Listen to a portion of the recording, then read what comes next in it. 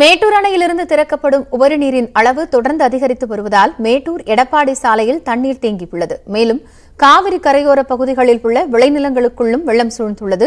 கூடுதல் விவரங்களோடு இணைகிறார் செய்தியாளர் கோகுலக்கண்ணன். அவரோடு பேசலாம்.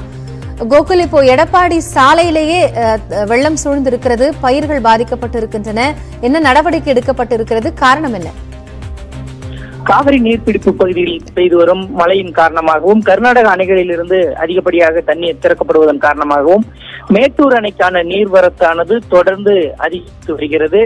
இதனால் மேட்டூர் அணையில் ஏற்கனவே நூற்றி இருபது அடி எட்டி அணை நிரம்பி இருக்கிற காரணத்தினால் அணையினுடைய பாதுகாப்பு கருதி நூற்றி இருபது அடிக்கு மேல் தேக்க முடியாத சூழல் இருக்கிறது. எனவே மேட்டூர் அணைக்கு வரக்கூடிய நீர் வரத்தை முழுமையாக உபரி நீர் போக்கியாக வந்து- உபரி நீராக வந்து மேட்டூர் அணையிலிருந்து வெளியேற்றப்படுகிறது.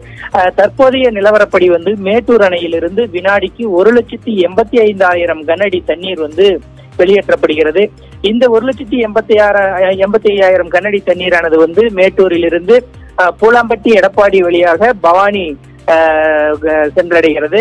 அவ்வாறு செல்லக்கூடிய அந்த காவிரி கரையை பொறுத்தவரை இருபுறங்களும் காவிரி கரையை தொட்டு அஹ், தண்ணீர் அதிகமாக செல்லக்கூடிய காட்சியை காண முடிகிறது. சில இடங்களில் வந்து அந்த கரையை கடைந்து அஹ், கரையின் அருகே இருக்கக்கூடிய சாலைகளிலும் வந்து தண்ணீர் தேங்கி இருக்கிறது. அதே போல அந்த காவிரி கரையோரங்களில் இருக்கக்கூடிய பல இடங்களில் வந்து அஹ், வயல்களில் தண்ணீர் புகுந்து அஹ், அந்த வயலில் இருக்கக்கூடிய பயிர்கள் வந்து சேதமடைந்திருக்கிறது. அதே போல வயல்களில் இருக்கக்கூடிய கிணறுகள் முழுமையாக நிரம்பி அந்த கிணறுகளில் இருக்கக்கூடிய மோட்டார்கள் பம்ப் செட் உள்ளவைத்திலும் வந்து தண்ணீரில் வந்து தற்பொழுது மூழ்கி இருக்கிறது.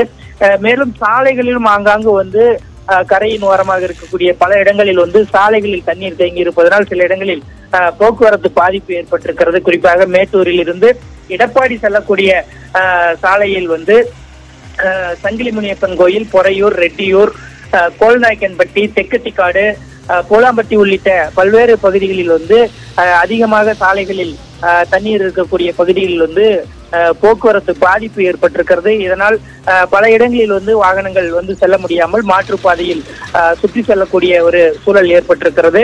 அஹ், இந்த தண்ணீரை பொறுத்தவரை தற்பொழுது ஒரு லட்சத்தி எண்பத்தி ஐந்தாயிரம் கனடியாக இருக்கக்கூடிய தண்ணீர் மேலும் அதிகரிக்கும் என்று எதிர்பார்க்கப்படுகிறது.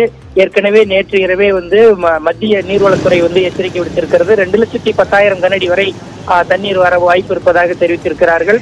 எனவே இந்த தண்ணீரானது வந்து தொடர்ந்து அந்த காவிரியில் அதிகமாக செல்லக்கூடிய ஒரு நிலையில் போ- போலீசார் பொறுத்தவரை மாவட்ட நிர்வாகத்தை பொறுத்தவரை எச்சரிக்கை நடவடிக்கை முன்கூட்டியே வந்து இதற்காக வெள்ள அபாய எச்சரிக்கையை விடுத்து தாழ்வான பகுதியில் இருக்கக்கூடியவர்கள் எல்லாம் மேடான பகுதிகளுக்கு செல்ல சொல்லி உத்தரவிட்டிருக்கிறார்கள். யாரும் வந்து காவிரியின் கரையோரம் வந்து வேடிக்கை பார்ப்பதற்கோ குளிப்பதற்கோ செல்லக்கூடாது என்று அறிவித்திருக்கிறார்கள். அதன்படி அங்கங்கு வந்து பாதுகாப்பு ஏற்பாடுகளும் வந்து செய்யப்பட்டு அஹ், அந்த ப- பாதிக்கப்பட்ட பகுதிகளில் வந்து நடவடிக்கை எடுப்பதற்காகவும் வந்து ஏற்கனவே மாவட்டத்தில் உள்ள பல்வேறு துறைகளுக்கும் வந்து மாவட்ட ஆட்சியர் வந்து அறிவிப்பு கொடுத்து அவர்களுக்கு வந்து தயார் நிலையில் வைத்திருக்கிறார்கள். தற்பொழுதைய நிலவரப்படி வந்து தற்பொழுது ஒரு லட்சத்தி எண்பத்தி ஐந்தாயிரம் கனஅடி நீர் இருப்பதனால் பல இடங்களிலும் வந்து அஹ், அந்த சாலையில் வந்து காவிரி கரையோர பகுதியில் இருக்கக்கூடிய சாலைகளில் தண்ணீர் தேங்கி அஹ், போக்குவரத்து மாற்றங்கள் தற்போது செய்யப்பட்டிருக்கிறது காயத்ரி. நன்றி கோகுல். இது குறித்த கூடுதல் விவரங்களை இணைந்து வழங்கியமைக்காக.